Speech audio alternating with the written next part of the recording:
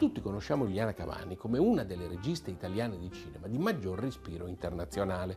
Vi dico alcuni titoli come Portiere di notte, Cannibale, Interno berlinese. Stiamo parlando di titoli che sono annoverati ormai fra i grandi film della cinematografia europea. Ma pochi sanno invece che Liliana Cavani è nata in qualche modo in Rai nella RAI di Ettore Bernabei, dove fra il 1961 e il 1966 ha creato delle inchieste, dei documentari che eh, in qualche modo sono l'origine della Liliana Cavani che verrà, quella appunto grande regista cinematografica.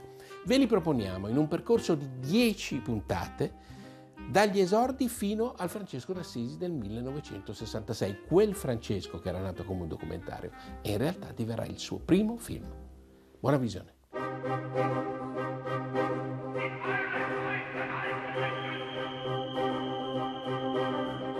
Sempre qua, tutti i giorni.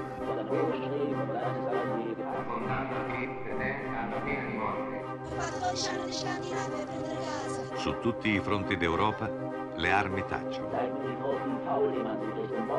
Prendi quello che hai e dallo ai poveri.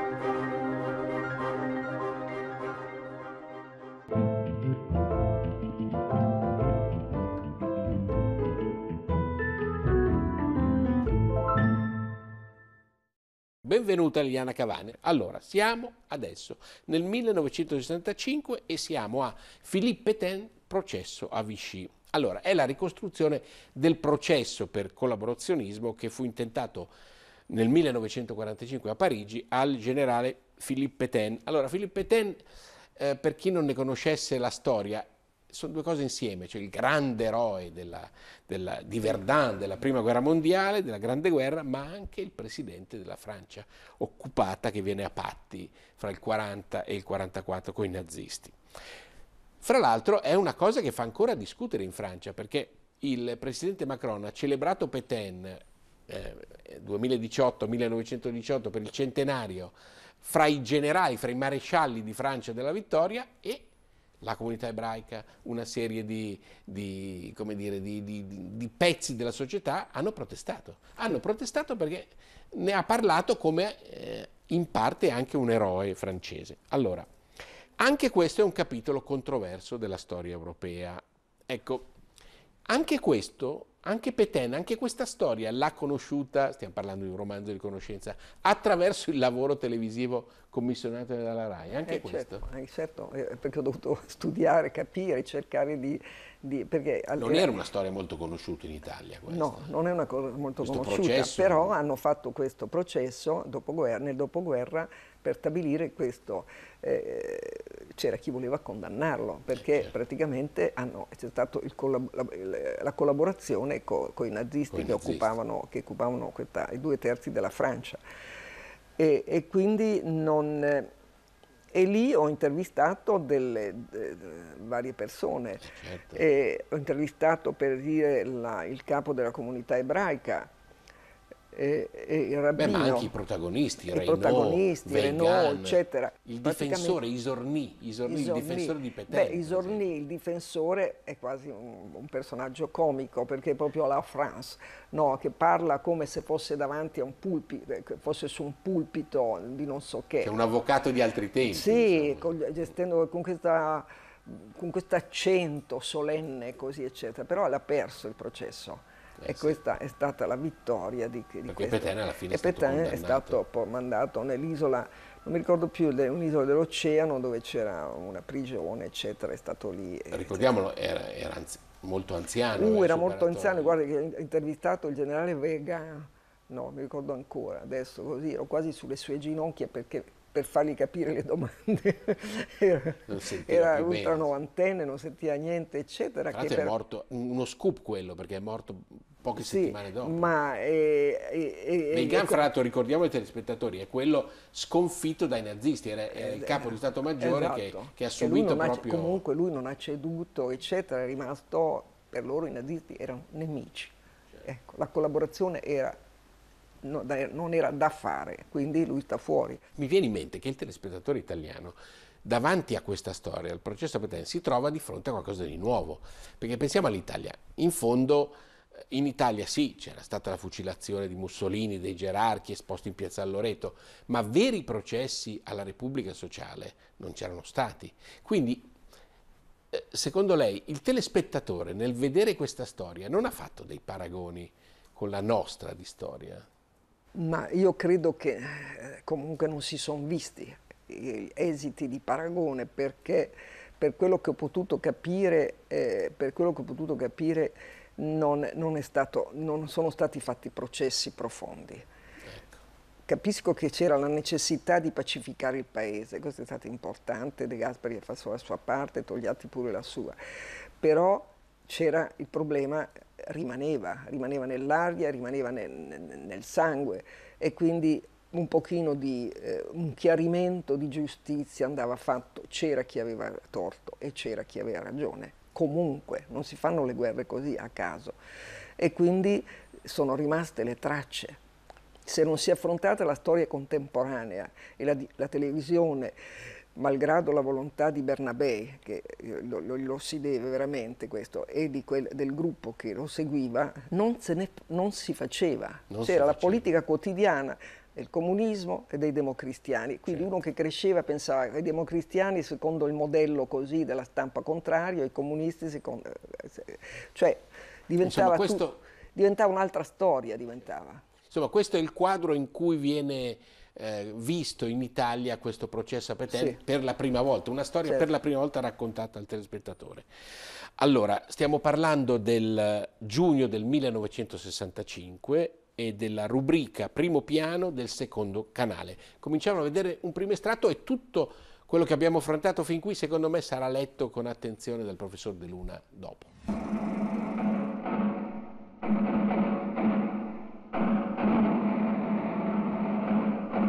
Prima di aprire il dibattito tengo a fare una dichiarazione. Ha inizio qui uno dei più grandi processi della storia. Ogni passione deve arrestarsi fuori dell'aula. Qui dentro una sola passione è lecita, quella della verità. Dichiaro aperto il dibattito. L'accusa è rappresentata da André Mornay. La difesa è sostenuta dall'avvocato Fernand Payen. Al suo fianco è un giovane avvocato, Jacques Orny, che diventerà di fatto il principale difensore del maresciallo. Al banco dei testimoni si alterneranno le figure più importanti della politica francese di quegli anni, il procuratore generale Mornay elenca i capi di accusa contro Philippe Pétain. Henri Philippe Pétain, età 89 anni, incolpato di aver attentato alla sicurezza interna dello Stato, di aver collaborato col nemico. Ecco in breve i capi di accusa. Ha partecipato negli anni in cui era ambasciatore a Madrid ad una cospirazione politica che mirava a impadronirsi del potere ed instaurare un regime di tipo fascista ed a tale scopo, una volta giunto al governo, Pétain ha voluto e concluso l'armistizio con la Germania. Pétain ha promulgato leggi contro le istituzioni democratiche per instaurare le basi di un regime totalitario sul modello nazifascista. Pétain ha collaborato col nemico. Il maresciallo Pétain chiede la parola. È il momento della sua autodifesa.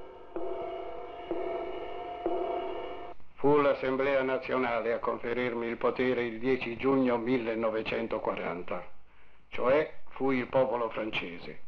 A lui mi rivolgo, non a questa Corte che così com'è costituita non rappresenta il popolo francese. Ho dedicato la mia vita alla Francia ed oggi, a quasi 90 anni, sono gettato in carcere. Philippe Pétain era nato nel 1856 da una famiglia di contadini della Lorena. Entrò a 20 anni all'Accademia di Saint-Cyr. Fu la guerra mondiale a rivelare le sue qualità militari. La difesa di Verdun creò la sua fama di eroe e salvatore della patria ed egli venne considerato uno dei grandi artefici della vittoria francese sui tedeschi. Per i suoi meriti gli venne conferito nel 1917 il bastone di maresciallo. La vittoria di Verdun divenne leggenda e leggendario l'eroe di Verdun. Nel 1934 è chiamato al Ministero della Guerra. Nel 1939 è nominato ambasciatore in Spagna. Nel maggio 1940, al momento della disfatta militare, il presidente del Consiglio Paul Reynaud lo richiama da Madrid per affidargli la carica di ministro di Stato e vicepresidente del Consiglio. Fui pregato e venni. Così ereditai una catastrofe di cui non ero responsabile. I veri responsabili si ripararono dietro di me. In pieno accordo con i capi militari chiesi l'armistizio. Era un passo necessario e salutare. L'armistizio salvò la Francia dal peggio. Il popolo francese accusa Philippe Pétain in primo luogo di aver fondato la propria politica sulla disfatta della Francia, avendo voluto e concluso l'armistizio. Pétain sostiene in pratica di avere da un lato fatto buon viso all'occupante tedesco per cedere il meno possibile, dall'altro di aver tenuto contatti con gli alleati e averne favorito la vittoria. È la tesi del doppio gioco che sarà la base della difesa. Si è veramente trattato di doppio gioco? Come hanno potuto i difensori sostenere questa tesi? Venne infatti confutata. Il 10 maggio 1940 era iniziata la cosiddetta guerra delle sei settimane che portò i tedeschi attraverso Olanda e Belgio sconfitti a marciare sulle strade di Parigi. Era il 14 giugno 1940. Pochi giorni prima il governo francese era stato costretto a lasciare la capitale e a trasferirsi provvisoriamente a Bordeaux. Era presidente del Consiglio Paul Reynaud, che circa un mese prima aveva chiamato Pétain alla vicepresidenza del Consiglio e il generale Maxime Weygand alla testa dello Stato Maggiore. Essi, davanti al disastro militare della Francia, non videro altra soluzione che la firma di un armistizio con la Germania. Weygand, una delle figure chiave nella vicenda di Pétain, è scomparso recentemente. Poche settimane prima ci aveva rilasciato alcune dichiarazioni. Comandavo l'esercito francese.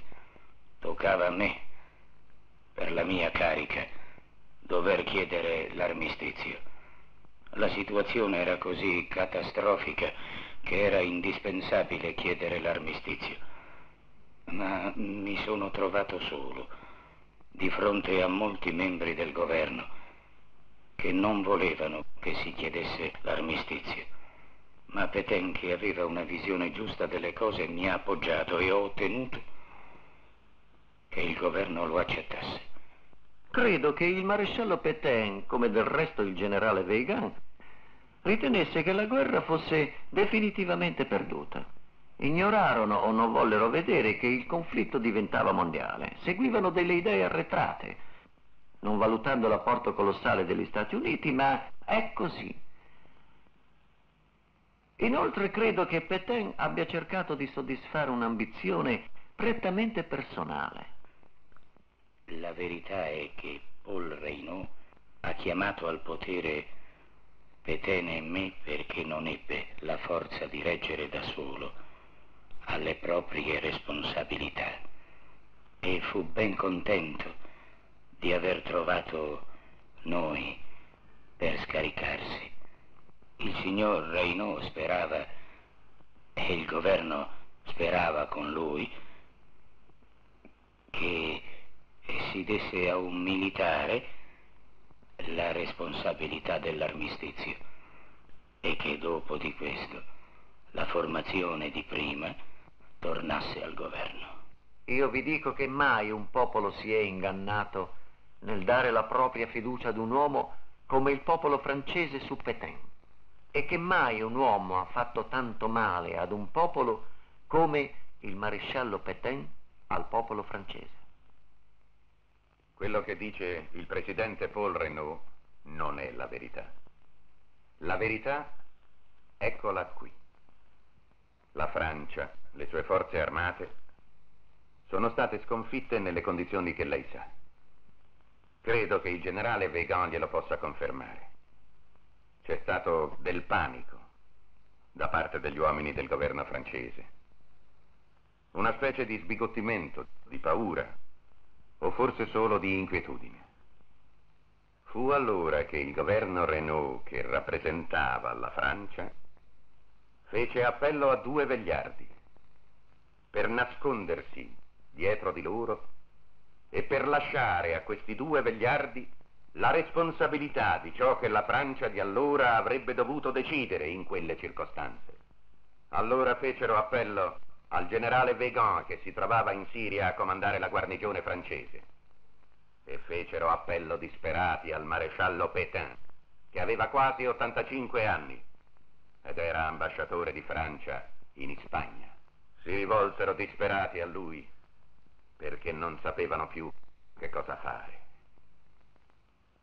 Speravano che lui, con la sua sola presenza, potesse dare di nuovo alla Francia ciò di cui aveva bisogno, essenzialmente il coraggio. Ma la sua potenza militare, no, non poteva ridargliela.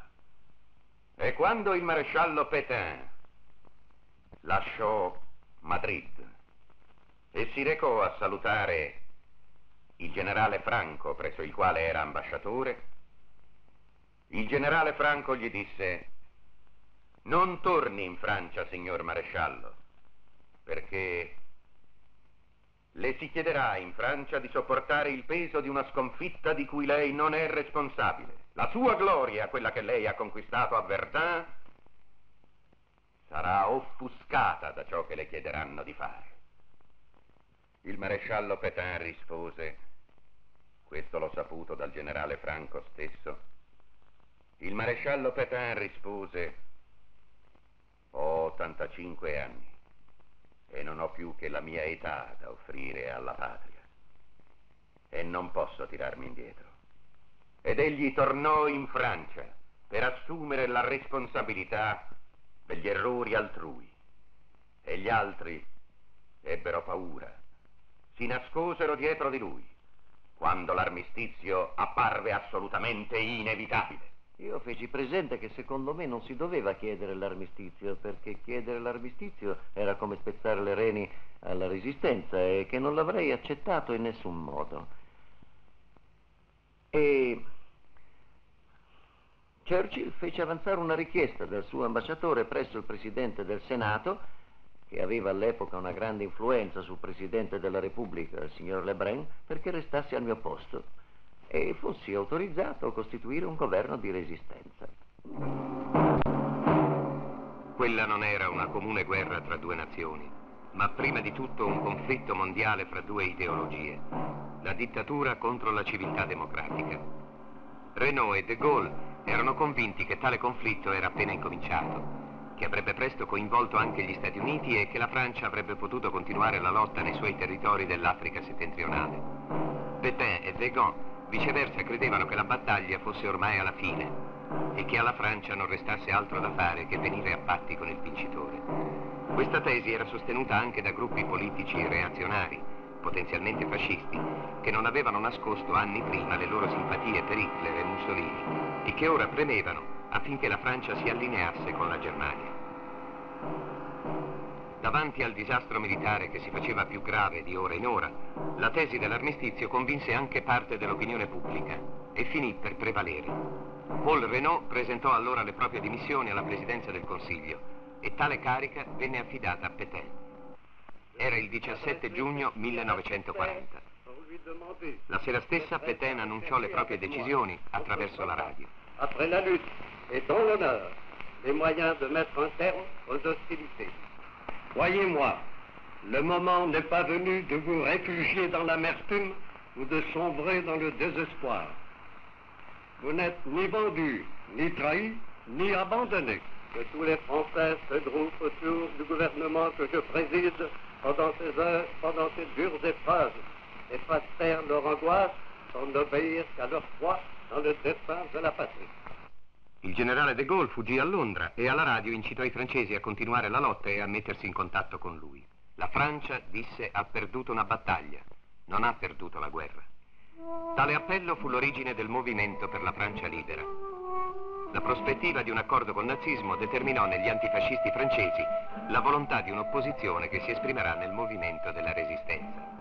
Il 24 giugno 1940 l'armistizio venne dunque firmato. Vennero consegnati all'occupante Parigi, le province del nord, tutte le zone essenziali agricole e minerarie, i porti atlantici. Aviazione e flotta dovevano essere smobilitate sotto il controllo tedesco. Anche la zona cosiddetta libera, lasciata alla Francia, restava però sotto l'autorità militare tedesca. Il governo e le Camere lasciarono Bordeaux il 28 giugno 1940 e si trasferirono a Vichy.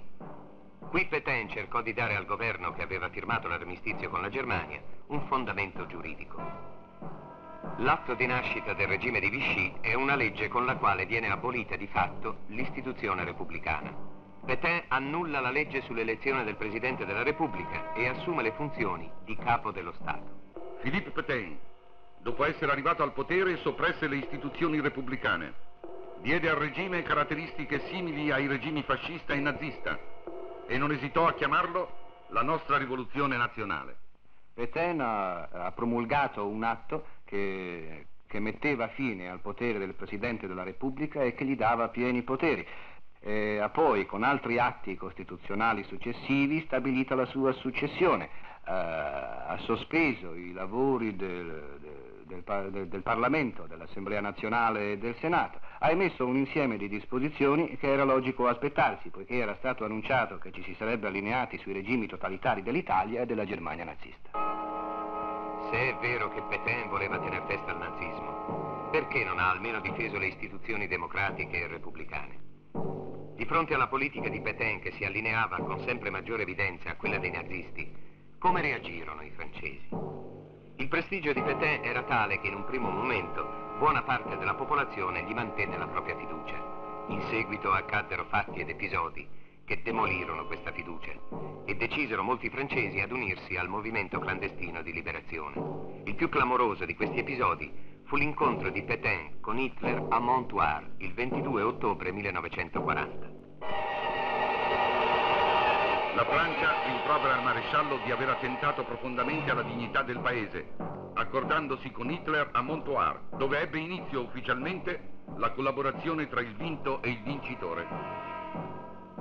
Che cosa fu Montoire? Fu un episodio che sancì la collaborazione e il vassallaggio del governo di Vichy al Terzo Reich. Fu una stretta di mano ampiamente pubblicizzata che determinò nell'animo di molti francesi un vero e proprio shock. Da quel momento, da quel gesto, si imponeva il problema della scelta. E fu proprio Montoire, per il significato che assunse, uno dei principali capi d'accusa mossi a Pétain. Per i difensori sostenitori del doppio gioco di Pétain, Montoire era invece l'espressione massima dell'abilità diplomatica del maresciallo. Fu il maresciallo che volle personalmente incontrare Hitler e questo rovescia tutti i dati che si avevano in merito quando si credeva che Hitler aveva voluto vedere Pétain per schiacciare la Francia più di quanto non avesse già fatto nel 40 al momento dell'armistizio. Al contrario è stato il maresciallo che ha tentato di allentare, di alleviare la morsa tedesca sulla Francia. E ha fatto questo mentre negoziava nello stesso tempo con gli inglesi. L'operazione è stato un atto diplomatico di grande abilità, una vittoria diplomatica paragonabile alla vittoria militare di Verdun. A Montoire, Pétain dava ad Hitler l'impressione, solo l'impressione, di una politica di collaborazione, mentre nell'ufficio di Churchill, lo stesso giorno e nella stessa ora, credo che non ci sia bisogno di commenti, l'emissario del maresciallo Pétain, Rouget, trattava con gli inglesi. Ho visto Churchill il giorno prima che Pétain incontrasse Hitler a Montoire il 23 ottobre. Devo premettere che il ministro inglese si dimostrò allora molto comprensivo. L'indomani, nella stampa britannica, c'erano dei grossi titoli che prendevano tutte le prime pagine sul trattato di pace che sarebbe stato concluso e firmato tra Pétain e Hitler. Era una notizia proveniente da Berna e che era stata spedita da un corrispondente di stampa americano. Leggendone il testo capì subito che era falso, ma era certo che sarei stato chiamato d'urgenza dal primo ministro, cosa che avvenne effettivamente. Un ufficiale di polizia venne a prendermi e così mi trovai di fronte ad un Churchill che era in preda ad un grande furore e che mi disse che avrebbe mandato la sua aviazione a bombardare Vichy e che avrebbe rivolto un appello al popolo francese dichiarando che avrebbe perseguitato il suo governo traditore ovunque si fosse spostato. Fu allora che lo guardai sorridendo ed egli mi chiese perché sorridevo. Io gli dissi perché non avrei mai creduto che un primo ministro britannico potesse farsi ingannare dalla propaganda del dottor Goebbels. Mi tenga dunque qui come ostaggio, se la notizia non sarà smentita entro 48 ore, e la sera stessa naturalmente ci fu la smentita. Fu smentita la notizia circa il trattato di pace, ma un accordo preciso fra Hitler e Pétain c'era stato. Il maresciallo infatti accettò di mettere per iscritto un patto che diceva le potenze dell'asse e la Francia hanno uguale interesse a vedere condotta a termine al più presto la sconfitta dell'Inghilterra. Di conseguenza il governo francese appoggia le misure che a questo fine le potenze dell'asse intenderanno prendere. È chiaro perciò che l'operazione Rougier aveva ben poco significato per Pétain, come finì per averne assai poco per Churchill. Si può parlare allora di doppio gioco? Mi attengo ai testi. Dopo Montois ci fu un cartello che noi della Resistenza abbiamo visto sui muri di Parigi. Era un manifesto che non lasciava luogo a dubbi circa le intenzioni del governo di Vichy. Vi appariva l'effigie di Pétain che chiaramente rivolgeva un forte appello ai francesi perché si indirizzassero nella via della collaborazione. Da allora gli uomini hanno detto doppio gioco, ma temo che si dovesse dire triplo gioco. Gioco di collaborare, gioco di resistere alla meglio ai tedeschi.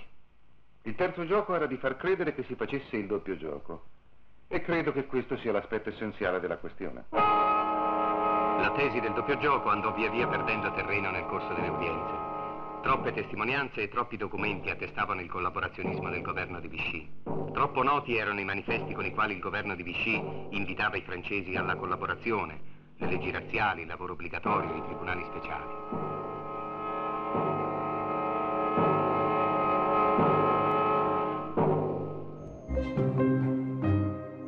Beh, anche questo lavoro è, è, particolarmente innovativo dal punto di vista storiografico. Scusate, lo ripeto spesso, ma è esattamente la cifra eh, di questi programmi di queste iniziative. E come anche ho già usato questo termine dello scongelamento della memoria, è come se si rimettesse un moto, un meccanismo di riflessione e di ripensamento di alcuni nodi storici che gravavano sulla nostra storia, ma anche sulla storia dell'Europa. Guardate che ehm, il tema del collaborazionismo con i nazisti non era stato rimosso solo in Italia. In Francia c'era stata una sorta di ossessione. I francesi avevano talmente il pudore di parlare di una guerra civile tra chi era favorevole ai nazisti e chi era contrario ai nazisti che avevano coniato l'espressione di guerra franco-francese. E, ma da questo punto di vista il paradigma interpretativo più forte era quello proposto da De Gaulle Vichy e Pétain non appartenevano alla storia della Francia, erano un'escrescenza da rimuovere e da cancellare.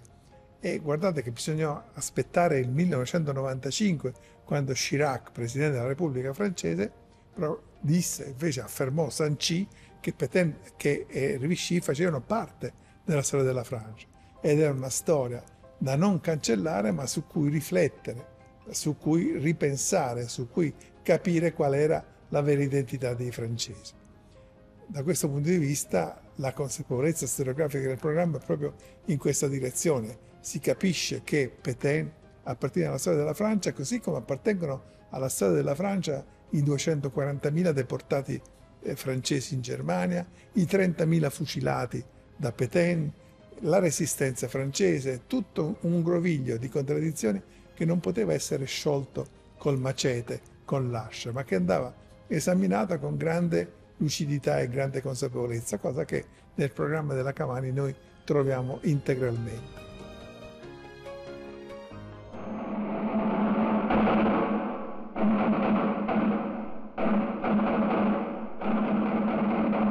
La Francia non perdona al governo di Pétain l'asservimento al Reich. La Francia non gli perdona di aver messo fuori legge intere categorie di francesi, perseguitandoli. La Francia non gli perdona di aver consegnato al boia le vittime che il Reich pretendeva. La Francia non perdona al governo di Pétain di aver contribuito al funzionamento dell'apparato militare tedesco. Scavando nelle reazioni dell'opinione pubblica di allora ho trovato un grande critico televisivo, Ugo Buzzolan, sulla stampa. Allora, lui dice che la giovane e valorosa regista, che sarebbe questa Liliana Cavani poco più che trentenne, non avendo che poche sequenze del processo di Parigi e qualche immagine di Lavalle delle sedute di Vichy, era stata costretta a puntare moltissimo sulle interviste. Allora, però qui ci sono dei veri e propri scoop, perché c'è il generale Weigand, responsabile de- della disfatta francese, è morto poco tempo dopo. Paul Reynaud, che era stato il primo ministro che voleva invece continuare la guerra ai tedeschi, poi, e, e lei si è riuscita a intervistarselo. Poi c'era soprattutto questo avvocato Jacques Isorni, il difensore di Pétain, come dire, un, un grande del foro parigino, insomma, ecco, dice Buzzolan che avendo lei poche cose in sostanza, eh, ha, ha, fatto una ricostruzione lucida, serrata, incalzante e ricca di tensione drammatica. Credo che il telespettatore se ne sia accorto. C'è anche un gran lavoro di montaggio dentro questo programma. È un po' insolito rispetto a quel che abbiamo visto fino adesso. Eh, io ho in mente dei nomi che ho visto nei, nei credits, per esempio Franco Attenni, che è stato uno dei suoi Sì, collaboratori, ma anche Domenico Gorgolini. Sì, ha fatto voi francesi. E poi c'è il tema del doppiaggio, perché queste interviste erano doppiate. Fra l'altro, un grande come Achille Campanile sull'Espresso disse: Ecco la Cavani che fa del teatro. Mm. con-". Allora, ci racconti un po' anche come dire, di- del linguaggio di questo programma. Beh, eh, proprio lei eh, l'ha detto bene, che c'era poco materiale sul quale lavorare e quindi eh, ci voleva una grande chiarezza perché la storia francese di quel momento non la sapeva, cioè il pubblico, salvo gli specialisti, non la Non sapevano sicuro. Allora, c- eh, lo sforzo è stato di far vedere insomma, la, la retorica de- dell'avvocato de- di Pétain, Isorni, che sembrava che recitasse a teatro piuttosto che in tribunale, che non è riuscita a persuadere però i, eh, i- i giudici e, la- la- e le dichiarazioni di quegli altri che c'erano, generale Vegan, le- le Iso- ehm, Reynaud. Renault, questi qua, e che erano necessarie, cioè queste poche interviste, però erano necessarie a dare un quadro che era molto complesso, perché Vichy è, stato una, una- è stata una grande macchia per la Francia, una grande macchia, e quindi non, non- non è stata sepolta subito. Ci fu quel bel film eh, di, di Louis Malle, ecco, bellissimo, e lì rimprovera ai francesi di aver fatto i collaborazionisti. Ma molti anni dopo questo Molti suo documentario. dopo. eh. E beh, e si vede che poteva dirlo però, si vede che poteva fare il film e, e dire e accusare praticamente gran parte dei francesi di avere, anziché aiutato i- i- gli ebrei, di averli denunciati. E quindi questo è, è molto... Cioè, per la Francia era un tema scandaloso. era un Vichy. tema scandaloso. Allora, veniamo al secondo estratto da questo Philippe Pétain processo a Vichy. Il professor De Luna però ci aiuterà di più stavolta perché ci deve spiegare una cosa che eh, lui ci ha insegnato in questi anni, cioè le interviste, le interviste fatte, come dire, per la bisogna, no? perché Sì. appunto dice "Beh, c'è poco girato, devo fare delle interviste. In realtà alla fine, tanti anni dopo, queste interviste sono un vero e proprio documento storico. Vediamo. La famosa rivoluzione nazionale di Pétain mostrò presto la sua vera faccia. Furono aboliti i sindacati, fu sospesa l'attività dei partiti, fu soppressa l'incolumità parlamentare. Diventò obbligatorio per tutti gli uomini di Stato il giuramento a Pétain. Furono emanate leggi anti-ebraiche, simili in tutto a quelle naziste. Fu abolita la libertà di stampa con l'ordine che non dovesse mai apparire un articolo che potesse ostacolare la politica di collaborazione franco-tedesca. Venne costituito il servizio d'ordine legionario, la milizia di Vichy, che aveva il ruolo della SS nazista. La Gestapo al principio conosceva poco la Francia, non si era ambientata, ma grazie alla polizia di Vichy è penetrata nel nostro ambiente, si è impossessata dei dossier segreti degli uomini della Resistenza, già individuati da Vichy, e in pratica per i nazisti il lavoro era fatto. Per me è da quel particolare momento che la Francia ha cominciato ad essere profondamente divisa e ha raggiunto un grado di divisione che ancora non è colmato al giorno d'oggi e provoca ancora, porta ancora delle conseguenze molto dolorose. Dei francesi sono stati arrestati, dei francesi sono stati internati, dei francesi sono stati deportati. Da principio le prime misure razziali erano delle leggi amministrative, ma poco a poco queste misure si sono trasformate in leggi di sangue, con le conseguenze che conosciamo. I difensori tentarono ancora una carta. Sostennero che Pétain, facendo fronte in qualche maniera alle richieste tedesche, aveva evitato il peggio, aveva cioè evitato alla Francia la sorte toccata, per esempio, alla Polonia. Si vuole dare ad intendere che senza l'armistizio, senza il maresciallo, la situazione francese sarebbe stata peggiore. Guardiamo le cifre. In Francia 150.000 ostaggi sono stati fucilati, 750.000 operai inviati in Germania, 110.000 sono i deportati politici, 120.000 i deportati razziali. Si possono scegliere molti esempi di ciò che Vichy poteva evitare e non ha voluto evitare. Per esempio nella deportazione dei bambini ebrei. La Gestapo di Berlino aveva stabilito un limite di età al di sotto del quale non dovevano essere effettuate deportazioni, vale a dire i bambini di meno di sei anni non dovevano essere deportati. Ed ecco la prefettura di polizia prima e Laval personalmente in seguito esprimere il desiderio alla Gestapo che i bambini più piccoli fossero anche loro deportati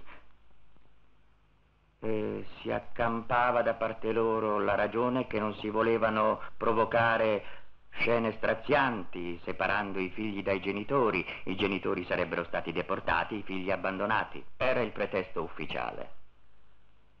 Lo studio dei documenti dimostra che l'autentico motivo era invece il desiderio di non eh, impegnare l'assistenza pubblica in un compito difficoltoso, bisognava ricoverare decine di migliaia di bambini. È per questo che, che la prefettura, la prefettura di polizia e la Val per la zona non occupata espressero il loro desiderio che la Gestapo di Berlino accolse e i bambini vennero deportati senza limite di età. Il primo gennaio del 1944 Pétain aveva consegnato tutti i poteri di polizia in Francia a Joseph Darnan. Era un ex scaricatore di Nizza che aveva sempre perseguitato le formazioni partigiane. Aveva creato la milizia che ricalcava l'organizzazione della SA in Germania e collaborava talmente con i nazisti da essere nominato SS onorario. Già il 20 gennaio Darnan aveva ottenuto che si votasse una legge che si promulgasse la creazione delle corti marziali. Le corti marziali erano dei tribunali di un genere molto particolare ed erano composte da tre giudici che, fatto straordinario, erano dei giudici anonimi. Essi non giudicavano nei tribunali, ma andavano a giudicare in segreto nell'interno delle carceri francesi. Questi giudici, che erano in genere della milizia, avevano dei poteri molto estesi e invariabilmente condannavano a morte. E la condanna era eseguita immediatamente. Io personalmente ho potuto ascoltarli durante i loro processi. Questa legislazione fu imposta dall'occupazione tedesca e perciò subita. Ogni repressione fu accettata solo con la speranza che un sacrificio provvisorio permettesse di salvare delle vite umane. Sotto l'apparenza di collaborazione, espressa con atti che non poteva non fare, Pétain poteva giocare quei risultati che hanno permesso alla Francia di limitare i danni dell'occupazione nazista e salvare la dignità del paese con una resistenza passiva.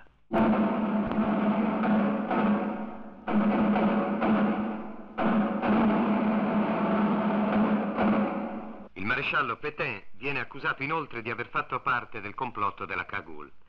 La Cagoule era un gruppo politico di estrazione reazionaria che non aveva nascosto le sue simpatie per i regimi totalitari e che nel 1936 aveva progettato di impadronirsi del potere per instaurare un regime di tipo fascista. Le figure di primo piano del complotto erano l'ammiraglio Darlan, Raphaël Alibert, Marcel Déat, Joseph Darnan, Pierre Laval. L'appartenenza di Pétain al complotto non fu convalidata al processo da prove documentate, ma l'accusa fece rimarcare che gli uomini della Cagoule erano gli stessi che Pétain aveva chiamato al governo di Vichy. Tra costoro emerse in particolare la figura di Pierre Laval, che aveva la carica di vicepresidente del Consiglio. La Francia non perdona al maresciallo Pétain di aver tenuto al suo fianco Laval, l'uomo che ha pubblicamente augurato la vittoria della Germania. Pierre Laval fece parte del governo di Vichy costituito il 12 luglio 1940 come vicepresidente del Consiglio. In più occasioni aveva espresso il proprio disprezzo per la democrazia e manifestato la sua simpatia per i regimi totalitari. Egli sperava di allineare la Francia con l'Italia e la Germania e a tale scopo cercava di forzare il più possibile la stretta collaborazione di Vichy con il Reich.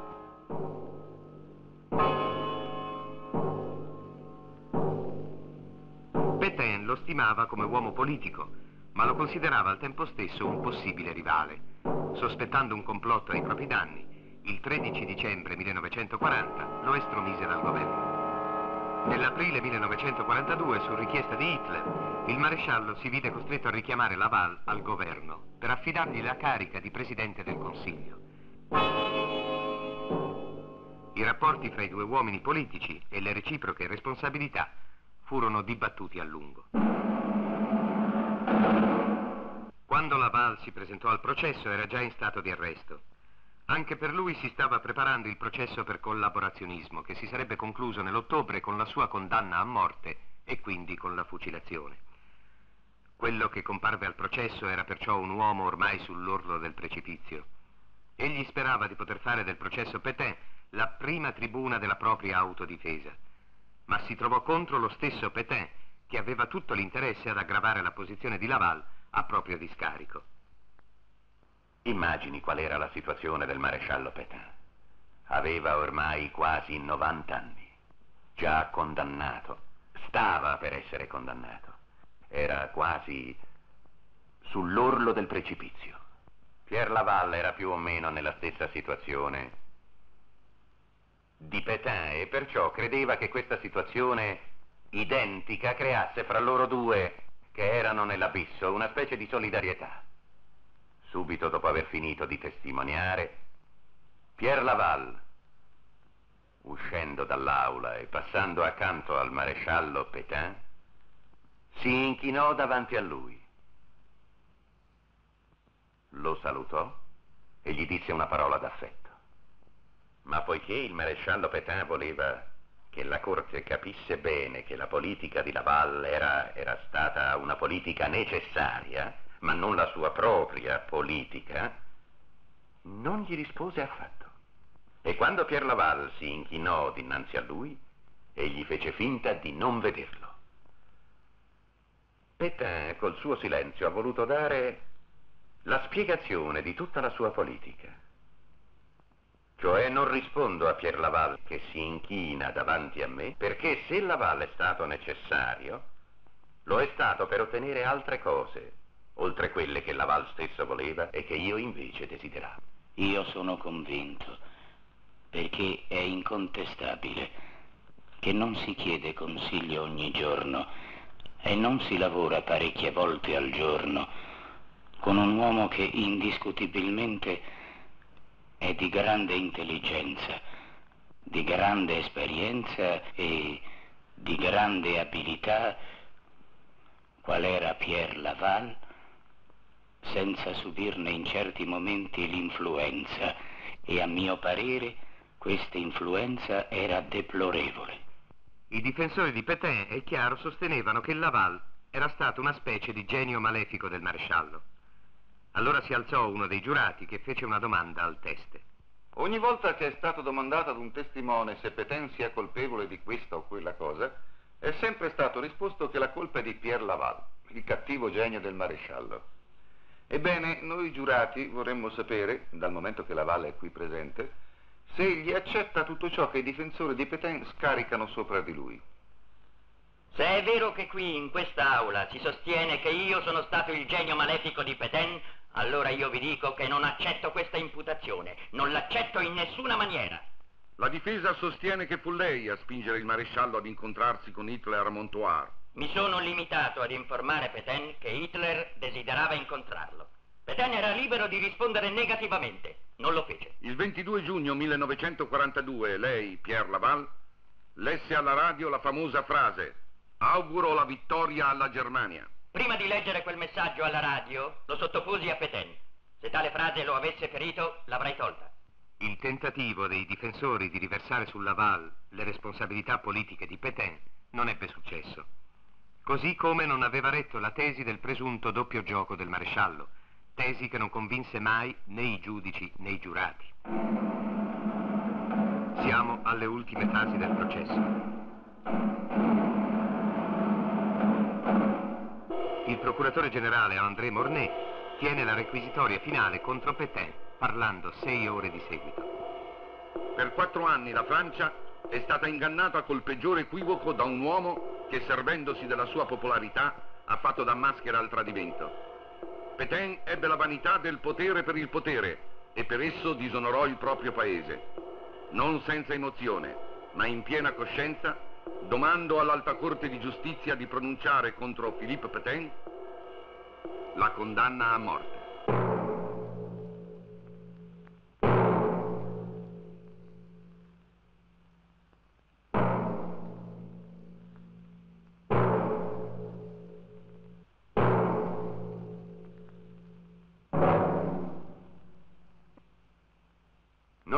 Riesco a immaginare lo spettacolo del vegliardo più illustre di Francia legato alla colonna del martirio. Magistrati, ascoltate il mio appello. Voi non giudicate che un uomo, ma voi portate nelle vostre mani il destino della Francia. Era possibile impostare la difesa sulle diminuite capacità psichiche del maresciallo in considerazione dell'età avanzata? Sì, all'inizio si pensò anche a questo. L'avvocato Payan voleva imperniare tutta la difesa sostenendo che il maresciallo era molto vecchio e, per dirla con una parola sola, rammollito. E io non ho voluto accettare. Mi sono recato dal maresciallo e gli ho detto, signor maresciallo, bisogna che lei sia un vero capo di Stato, un monarca. Lui si è buttato nelle mie braccia, molto commosso, dicendo non so cosa sia la giustizia. Da quel momento ho assunto io la responsabilità della sua difesa e l'ho imperniata come si è visto. La Francia che si apprestava a giudicare Pétain era quella nata dal movimento della Francia libera del generale de Gaulle e dalle formazioni clandestine. Mentre a Vichy l'asservimento ai nazisti era diventato più grave di mese in mese, il movimento clandestino aveva organizzato un fronte interno che diede un contributo notevole alla vittoria degli alleati. Dopo la liberazione, le autorità della Francia libera vollero che le responsabilità del governo di Vichy fossero giudicate attraverso regolari processi. Il generale de Gaulle, prima autorità della nuova Repubblica, capì che il primo di questi processi non poteva non essere quello a Philippe Pétain, anche se la figura di un vegliardo troppo famoso sul banco degli imputati poteva riaccendere recenti passioni in una Francia ancora divisa. Per questo, secondo le tesi di alcuni storici, De Gaulle avrebbe preferito che Pétain fosse giudicato in contumacia. Al momento della liberazione, Pétain si trovava sotto sorveglianza dei tedeschi a Sigmaringen, in Germania. Vi era stato trasferito nell'agosto del 44 dopo i suoi tentativi di trattare la resa di Vichy con gli alleati. Ed è qui che il 5 aprile del 45 apprese dalla radio che si stava preparando a Parigi un processo contro di lui. Decise allora di rientrare in patria.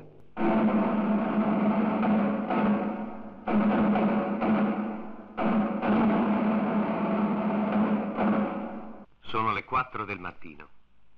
Il campanello annuncia l'ingresso della corte in aula per la lettura della sentenza.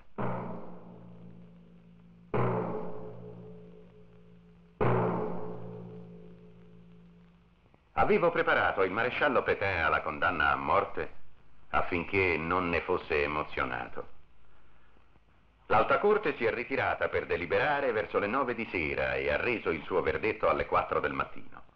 Ha dunque discusso per circa otto ore. Quindi il maresciallo è rientrato davanti l'Alta Corte e il Presidente ha letto la sentenza. La lettura fu molto lunga e siccome il Presidente era distante dal maresciallo, il maresciallo non lo poteva sentire, ma io gli ho detto all'orecchio, è stato condannato a morte. L'Alta Corte di Giustizia, dopo aver deliberato, condanna Philippe Pétain alla pena di morte, all'infamia nazionale, alla confisca dei beni. Ma tenuto conto dell'avanzata età dell'accusato, l'Alta Corte di Giustizia esprime il desiderio che la condanna a morte non sia eseguita.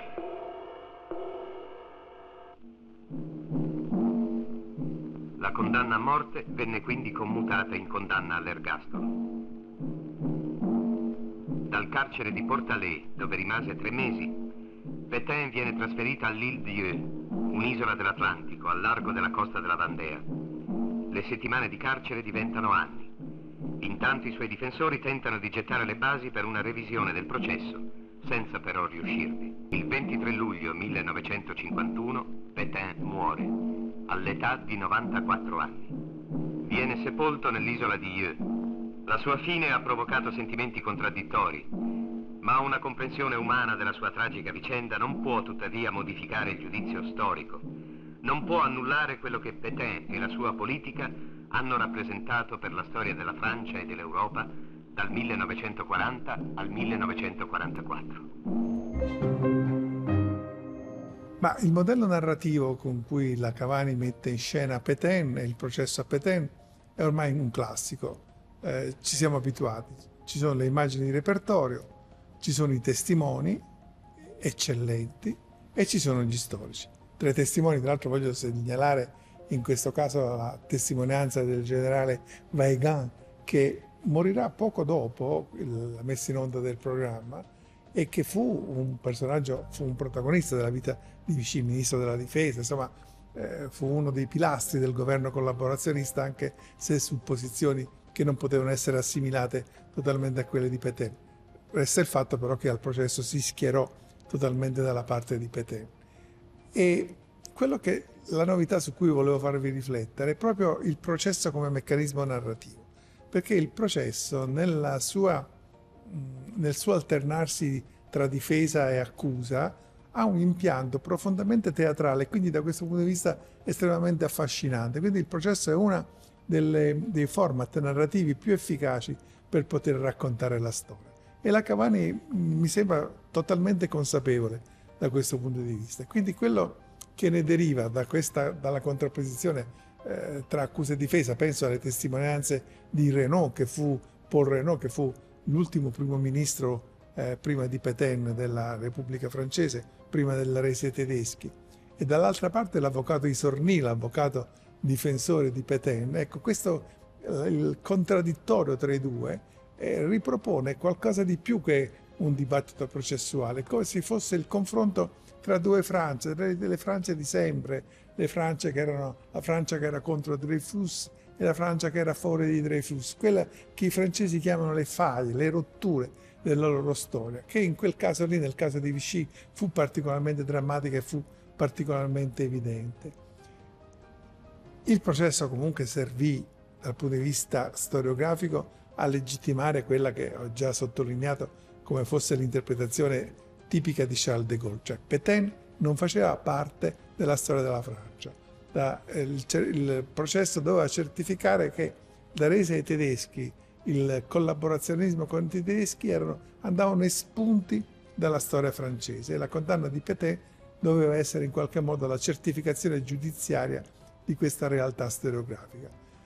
In realtà è una tesi che lascia molto perplessi. Pensate soltanto al groviglio cronologico che Pétain ci suggerisce, che la vicenda di Pétain ci suggerisce. E Pétain diventa primo ministro della Repubblica francese, succedendo appunto a Paul Renault, il 16 giugno del 1940.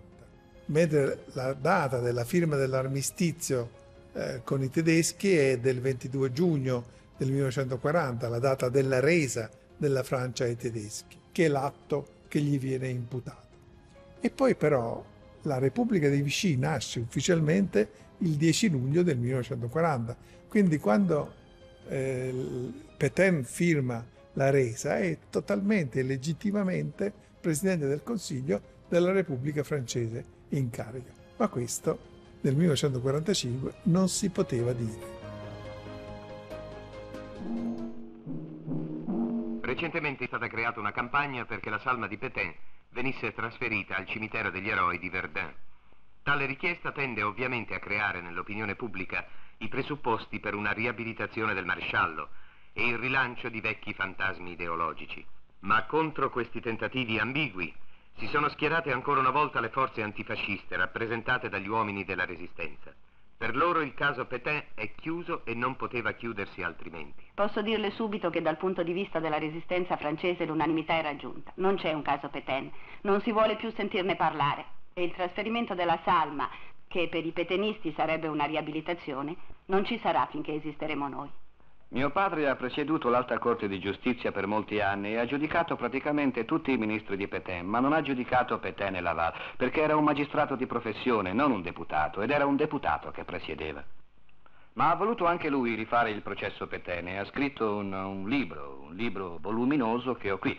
E che si intitola Il vero processo del maresciallo Pétain, cioè mio padre, applicando a quel processo il metodo che aveva applicato in tutti gli altri che aveva presieduto, ha ripreso punto per punto tutti gli atti, tutte le imputazioni contenute nell'atto di accusa e tutti gli aspetti della pratica. Su due o tre punti di dettaglio egli ha pensato che si poteva forse esonerare Pétain da questa o quella responsabilità, ma nell'insieme in quello che è più importante, la sua conclusione è del tutto simile a quella dei giurati del processo Pétain. Pétain, maresciallo di Francia, era un traditore e come tale è stato giustamente condannato.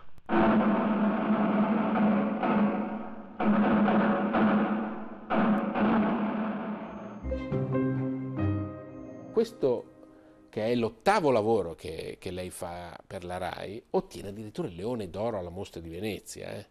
Del 1965, oltre a 1.100.000 spettatori sul secondo canale, prima serata, gradimento del 70%. Voglio dire, io torno ancora però a Buzzolan perché a un certo punto però, proprio vedendo questo montaggio, dice Buzzolan, speriamo che questa abilità Liliana Cavani possa un giorno usarla per un lungometraggio. E siccome Petain in realtà cronologicamente è l'ultimo suo documentario, cioè, ci aveva azzeccato Buzzolan. Cioè, stava per arrivare Francesco, non lo sapeva lui. Secondo me, mentre lei faceva Petain, non lo sapeva lei, però l'aveva azzeccato. No, io lo sapevo, Ah, lei lo perché sapeva, io perché? sapevo perché stavo, eh, vince il Leone d'Oro a Venezia, io non ci vado, Ah? stavo all'isola d'Elba, così. Cioè lei non è andata a ritirare No, il non primo sono andata, no perché stavo lavorando a una revisione della sceneggiatura del Francesco che avrei cominciato a girare in novembre e quindi non avevo tempo di andare a ritirare, Cioè, la testa non avevo nessuna parte. voglia di stare a bloccare eccetera, eh, di andare a Venezia che poi è scomodissimo dall'isola di andare a Venezia. E, e- e invece perché lavoravo tutte le mattine su questo eh, copione. Però voglio farle, come dire, una domanda come dire, più personale, ma come sta maturando l'idea di, di fare un altro mestiere, di di avere degli attori, una sceneggiatura, un, un progetto di film? Cosa sta, sta cambiando qualcosa in lei? No, in me no, c'è questo desiderio di fare eh, un film su Francesco e me ne sto occupando già fin da allora. Quindi lei non, non intuisce che è un nuovo mestiere, è, è il seguito di quello che sta già facendo. No, non, faccio, non faccio questa riflessione perché avevo fatto già due filmini per la, ehm, al centro sperimentale con gli attori. anche- Ah già, è vero. È e vero, ci quindi per me era un lavoro normale, era un lavoro normale. era, io avevo fatto il centro sperimentale per fare quello, però mi, piace- mi è piaciuto anche tutto quello che avevo fatto prima. Cioè è venuto in continuità. Sì, è venuto in certo. continuità. Però abbiamo fatto una strana operazione. In realtà, prima di questi tre documentari storici, ce n'è un altro di attualità che si chiama Gesù mio fratello. In realtà abbiamo voluto porlo prima di Francesco, perché a me pare, a noi pare, che eh, le suggestioni che ci sono in questo racconto di Gesù mio fratello sono quelle che precedono in qualche modo Francesco. È un ritorno però all'attualità, perché nel 1965 lei racconta questo strano ordine monacale e lavoratore insieme, no? che sono i piccoli fratelli di Gesù. Lei li racconta inseguendoli in giro per il mondo lungo, eh, diciamo, tutti i continenti, mi viene da dire, e proprio nel 1965. Eh, lo vedremo nella prossima puntata, però stateci attenti perché eh, seguiteci perché è in qualche modo l'annuncio di quel che sarà il Francesco che verrà. Naturalmente eh, tutto il materiale che stiamo raccontando in queste puntate è disponibile su RaiPlay, potete rivedervelo lì. Io ringrazio Eliana Cavani e la prossima puntata sarà veramente interessante. Speriamo.